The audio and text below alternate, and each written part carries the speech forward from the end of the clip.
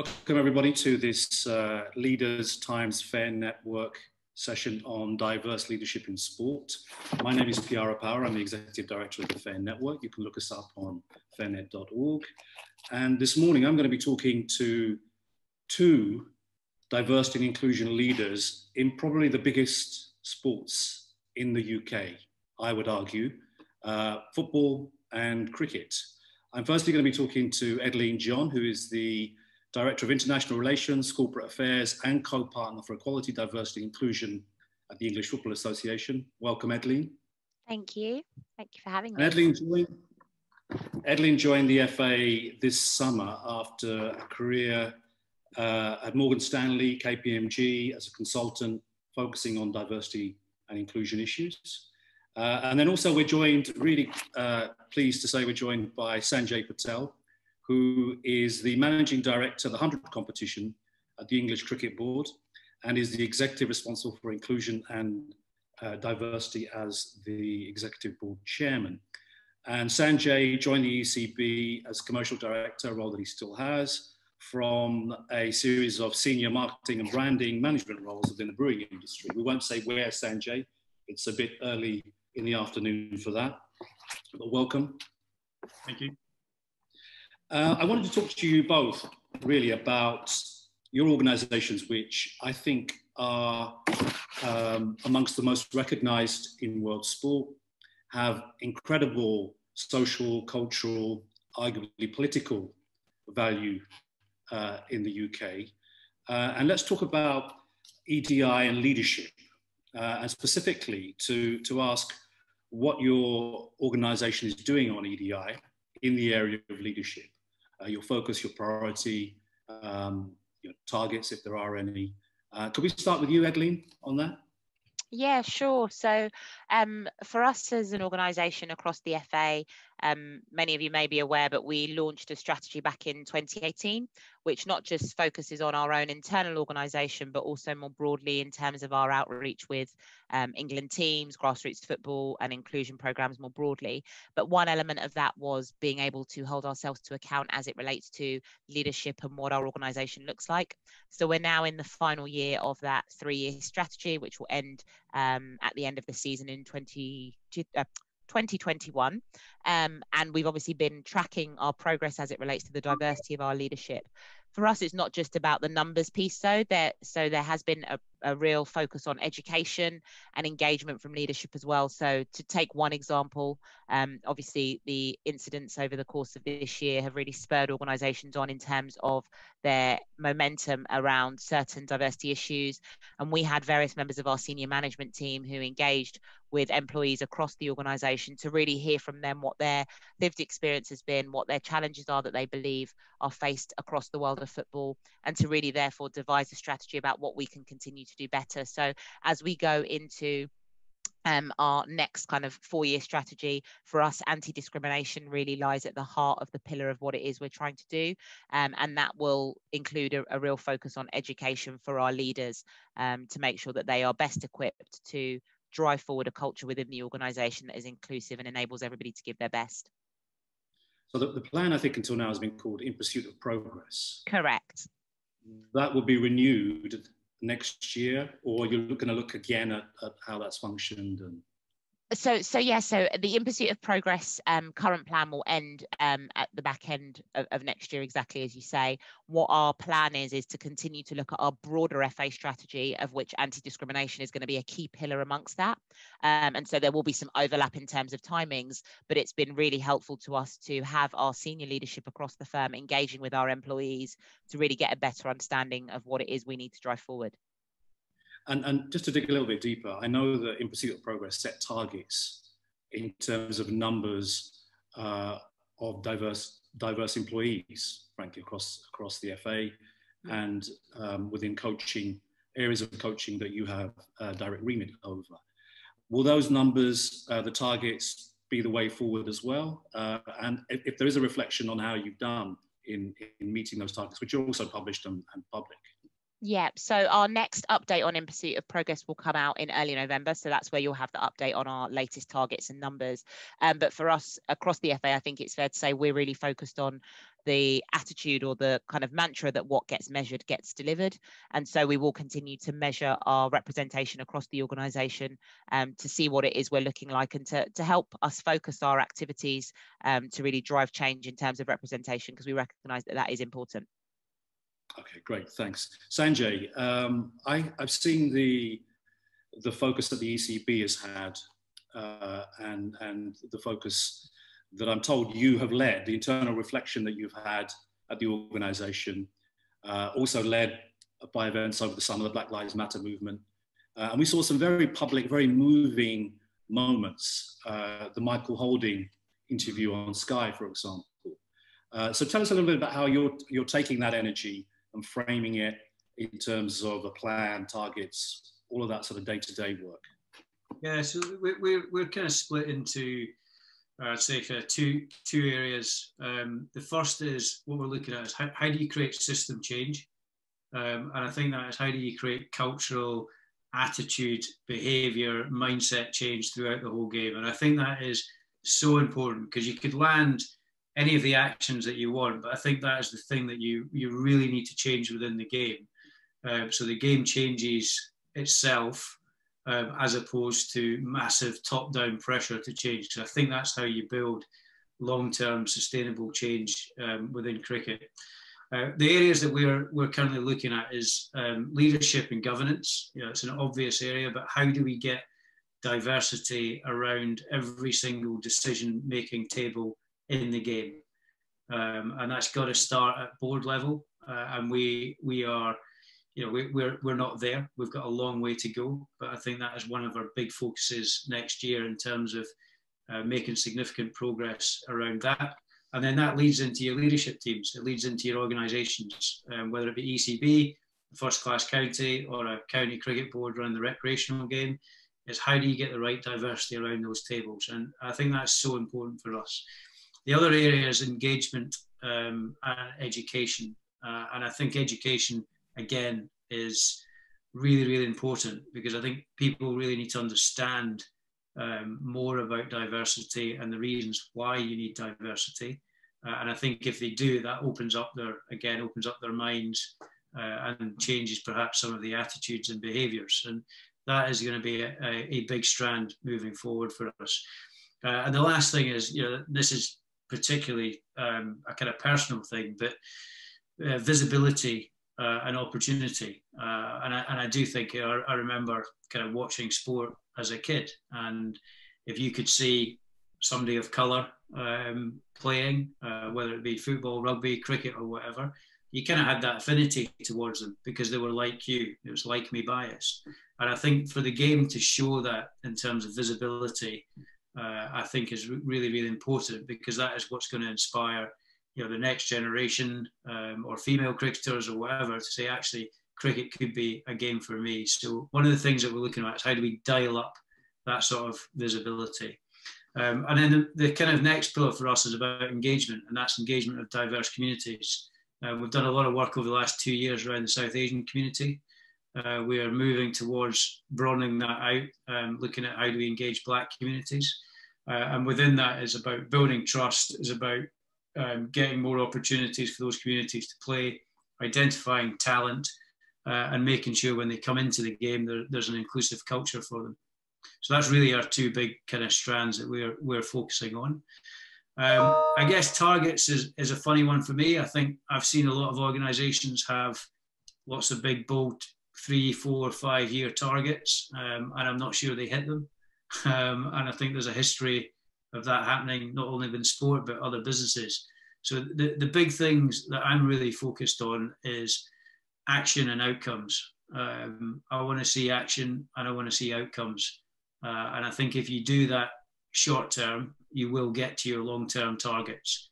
But unless you take care of the next three months or the next six months, then that is the most important thing for us. So we are taking, um, I won't say incremental steps, but we are we are taking a real short-term focus in order to move this agenda. And I think if we do that, we'll comfortably hit where we want to hit in three five years. Um, and what are some of those markers of success then that if, you, if you're not setting big targets, what, what does success look like in the short term? You know, the, the, the way your approach is to start making those gains quickly. Yeah, so I mean, there's there's a, there's some very very quick obvious wins that we've been doing in terms of coaching bursaries, um, giving more opportunity to black coaches within the game. Uh, I think our focus on governance uh, from a short term point of view is going to be really looking at um, how, how do we make sure, particularly boards um, around cricket boards around the country, uh, have the diversity at their table. And those are the sort of short term things that we'll be focusing on between you know now and middle of middle of next year uh, in order to make sure that we we get some progress uh, in those spaces. Okay. And uh, you, you are the, the lead this within the organization. Is this because you saw what was happening this summer, led the internal reflection, and, and then wanted to meet the challenge? Because I, I think we're interested in individuals who step up to the plate, if you like, who understand that they, they, they are the ones that are going to have to do this because otherwise the organization may not get to the point where, where somebody's leading. Um, no, for, for, for me, it was, um, I guess it was a personal reflection after what happened in the, the Black Lives Matters movement. And I think everyone has their different personal reflections, right? And I think um, my personal reflection was actually, wow, I, I, actually think society is waking up. I think for the first time, I genuinely can see and feel that we might change um, as a as a as a society, as a sport. Um, and I think my personal reflection is I, have never, I've never thought about myself in, in positions of, of influence where, where um, I could change some of those things. And, and, my approach has always been to try and fit in um, and almost accept what's going on, but not let that hold me back. Uh, and I think, you know, I guess over the last six months, I've changed a lot in terms of um, my personal reflections, and I'm probably a bit embarrassed that I haven't done enough, and I haven't done enough in this space. Uh, and I think that's why you know I, I, actually put my hand up at ECB and said, "Look, I, I want to do this, um, and I, I want to do this, and I want to make a difference." Uh, and I think you know that's one of the things that again that's why I'm absolutely determined to look at action and outcome um, as our as our main focus rather than words and you know, glossy, glossy documents and big statements and all those sort of things that have happened in the past. And um, what we're going to do is we're going to judge ourselves on what we deliver over the next year, and then we'll, we will talk about that. Great. And I think, yeah. Sanjay, to add to that, it's not even that you're going to necessarily judge yourselves. I think it's fair to say in the world of sport, whether we as organizations or governing bodies want to judge ourselves, frankly, the public will judge us in and of themselves, right? And so we are able to hold ourselves to account to showcase the, the positive or negative work that we're doing mm-hmm. um, and and for me beyond sort of the targets and the numerical piece is actually around the inclusive culture piece so it's how are people feeling that we as a governing body are supporting players supporting clubs supporting counties as it relates to the issues of diversity and inclusion? So it, it really is beyond just the governing bodies and the work that we might be doing. It's about actually how are we filtering that education down because it does then impact broader society and we do have that responsibility. And so if i put my day job hat on and I've obviously been working in the inclusion and diversity space for, for a, a, number of years and a long time. Actually, for me, this isn't about me saying I take responsibility. This is about the moment of recognition that this is everybody's responsibility and we all have to drive forward change. It's not going to be one single individual who may be leading on the agenda or may have the title of equality and diversity manager. It's actually what is everybody's action going to be to change the cultures, the systems, the setups that we have across the worlds of sport to make it more inclusive and to make it more diverse. Great point. You, you mentioned there, Edleen, the you hint at the sort of scope of what both of your organisations are doing. You are governing bodies, you are moral guardians of the sport, you run national teams, you run competitions, you are media rights owners with a commercial model. Um, that's a lot of space to cover.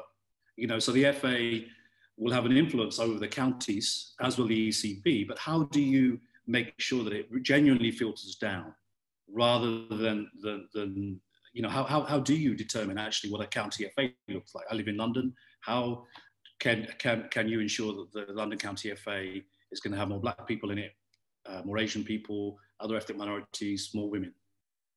Yes, so we, um, from our perspective, we recently launched a new County FA Code of Governance, which includes many diversity and inclusion based provisions to really change the makeup of grassroots football to better reflect modern society.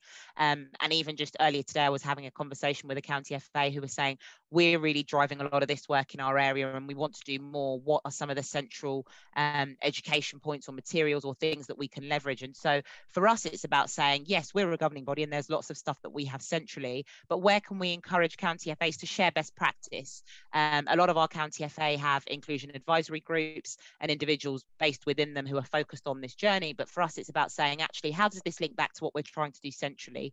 How are we changing things on the ground. And for us, things like a code of governance help. Um, we're also lo- launching something similar uh, next week across the professional game, which is um, a football leadership diversity code, which focuses on changing the makeup of the supporting structures around football. So not just focusing on what's on the pitch, but actually what look what does diversity look like off the pitch uh, surrounding football and so for us it's as governing bodies we have a, a, in many ways a role of privilege to set aside some codes some direction some focus but we also have the opportunity to share materials share best practice and, and join up across counties that might be doing great work or professional clubs that might be doing great work and, you mentioned um, the the new code that's being launched next week or the week after. I mean, we'll, we'll put that aside for now, but it, could potentially be, uh, excuse the cliche, a bit of a game changer. Um, but if we if we go back to leadership um, and developing diverse leaders, mm-hmm. how how are you specifically doing that? How are you creating the talent pipelines? Are you offering people training? What are the internal support mechanisms? Yeah, so it's exactly the stuff that you've just mentioned. So for us, it's looking at specific dedicated programs to support people at different junctures in their career. It's looking at bringing in mentoring programs to help people, um, particularly when they have sometimes challenging questions and you don't know who to turn to and you want to sense check it with somebody. So having those mentoring relationships, but also looking at implementing re- implementing reverse mentoring. Um, so again, educating our leaders around what it might feel like to be further down the organization and some of the challenges you might face. So for us, it's a really holistic um, approach. So we're not just focusing on bringing people through the door through our recruitment processes, but we're actually saying how do we continue to build that diverse pipeline and to do that in a way where people are included, valued, and heard with the, the support structures and the education that we think are important to help people progress through the firm. And Sanjay, is, is there anything that the ECB is doing in, in that regard? I mean, one of the things that I find really interesting around cricket actually is that you see coaching leaders that are Asian, mostly internationally trained, mm. but and that's something I never see in sport, right? So uh, that's that's one of the unique things about cricket for me is you see people who look like you who are there calling the shots as a coach, and I don't know what what you're doing to both at that coaching level, but also in the management uh, and leadership space, what you're doing to to encourage more of those sort of people to to emerge. Yeah, so I think um, yeah, the top topic co- coaching first. Uh, look, I think we we are fortunate in that respect. Is you know we've got a lot of great Asian uh, and black coaches that, that we can promote, um, and we can make sure that you know they get they get the opportunity to get to the top of the game. Um, that that is that that is also about I think supporting some of those players that have come through um, and on their journey and making sure we have early conversations with some of those players to say, look, would you consider a role in coaching? Uh, and then supporting that journey all the way through. I think that's so important.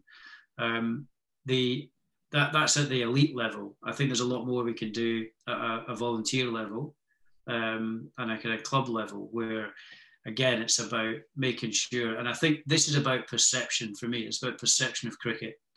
Um, and i think we you'll automatically get more asian and black coaches if they feel that there's an environment that they're going to step into that they feel comfortable in.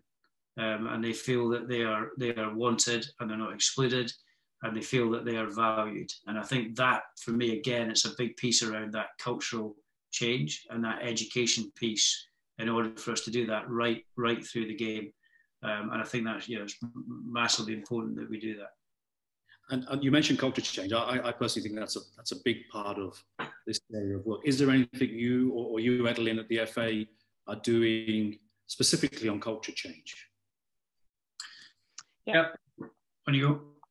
Yeah, so so for us at, at the FA, we are um, internally looking at what our culture stands for at the moment, what we would want our culture to stand for in five years' time going forward. And a piece of work is, is happening across our teams to look at actually what does the FA culture need to be going forward, particularly to drive and support some of this work in the equality, diversity, and inclusion space. So yeah, there are conversations happening um, and different individuals focusing on different elements. But for us, it is is a critical priority because actually creating an inclusive culture is what is going to really help us to drive forward the benefits that we'll gain from diversity. Um, and we are absolutely acutely aware of that, and therefore recognise that we have a responsibility to make sure that our culture is the way in which we want it and that it is inclusive. Yeah, uh, we've uh, about three months ago we actually started working uh, with PwC, uh, and they had an internal look at uh, our culture at ECB, uh, and they helped us think about, you know, what does an inclusive culture actually mean? What does it look like?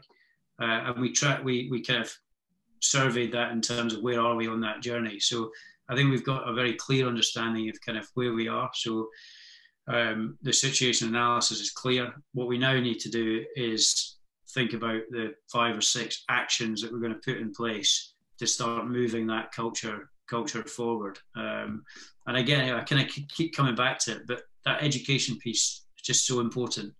Um, and I think the more the more you educate, I think the more that people understand, and the more that people understand means the more that people people's mindset and attitudes and behaviours will change. And I think that is kind of uh, you know a big strand in our kind of inclusive culture uh, for ECB, and then how we then translate that into the wider game again is something that, that we need to work out.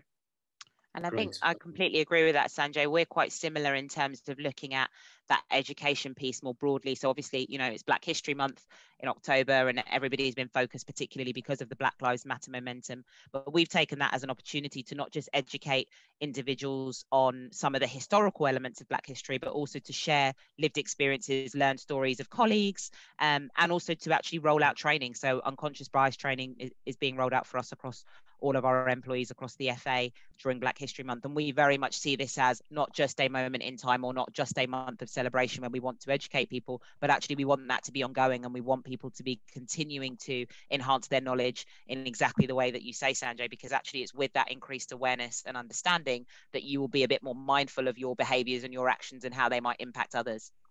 Hmm. Okay, that's great.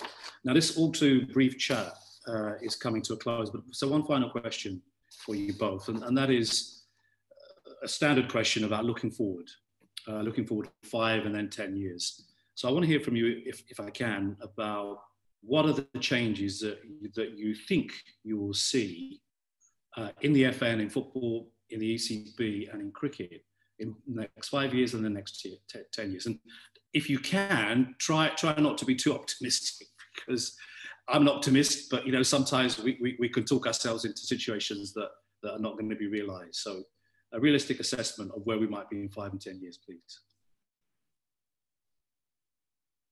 Edleen. Shall I go first? Sure. Um, so I think for for us as as the FA, we for the next five ten years are really committed to delivering a, a game that's free from discrimination. Um, I mentioned that we're currently developing our strategy, which takes us up to 2024, um, and this will feature a, a suite of anti-discrimination activities ranging from education and sanctions to various marketing campaigns and infrastructure uh, changes across our venues such as Wembley Stadium. We really want to ensure that we can do everything in our power over the next, you know, four or five years um, to deliver a game that that everybody feels that they can be part of. Um, and part of that for us is obviously working with um, the teams both from a professional and county level. And, and I mentioned and alluded to the code that we'll be launching later, but that is another key part of it for us because that is about not just looking at what the makeup is of individuals on the pitches, but making sure that the support structures around the game, senior leadership, team operations, coaches are actually more reflective of the society that we live in today. And so for us, bringing in that code and, and watching that change and transition um, will be a means by which the game begins to change to be more representative of society. Um, and hopefully, with the continued education and culture change, we will have a more inclusive sport for everybody. That's one of our key goals. Great. And Sanjay, you at the ECB cricket? Yeah, so I, I, I, I think this question is probably linked to how quickly is society going to change within the next five or ten years, um, and how quickly is it going to move? Um, and, I, and I do feel, you know, in the last sort of six months, there's been a, a seismic change and shift um, in terms of this space and this topic and, and people's awareness levels of it and the need to change. So I actually think we're going to go through uh, a, a, pretty quick change in terms of um, society and so on, but that will take time. Um, and of course, it will take time to kind of flow through. In terms of cricket, I, like, pretty simple for me. I mean, I, would love a situation in five or ten years where you know you, you will you'll go to every single cricket board in this country and you will see diversity You'll see female representation. You'll see BAME representation. You'll see a club that is full of um, different kids from different backgrounds. Um, and that might not be even ethnic backgrounds. It might be backgrounds where, um, you know, lower social demographic, demographic backgrounds. It doesn't matter. Um, it's just cricket is open for everybody. Um, I'd love to see a situation where you know, in future years, the, the, the senior leadership roles of the ECB are completely balanced. Um, and that would be a great thing to see. And then, you know, continuing that onto the pitch where we have strong representation uh, of BAME within our professional game uh, and also within within our England teams. Uh, and then, you know, I'd love to see a chance where, and I think we will actually see this, is where women's cricket goes from strength to strength um, and in five and ten years' time, it, it is, um, you know, getting as big as men's cricket, um, and I, I, don't, I don't see why it shouldn't do, uh, and I think that's the journey that we're on. So I'd love to see that as well. Sanjay, ideal case scenario is in five, ten years' time, none of us are even needing to have conversations about diversity right? Because it's just part and parcel of the runnings of our sport and the runnings of society, whereby actually people are respected, valued, and listened to, um, yep. irrespective of, of, of their differences. So that's I appreciate. You know, you said please don't go too big and don't go too kind of ambitious in terms of focus. But for me, ideal case scenario, I say to people is where we've been able to talk all of the diversity and inclusion consultants, which would include include me in terms of my previous life, completely out of a job. That's the ideal case. Okay, great. That's amazing. Thank you very much for your insights. Thank you, Edleen John of the Football Association. Thank you, Sanjay Patel of the English Cricket Board. I think there's a lot there for our audience to, to take away. Have a great day.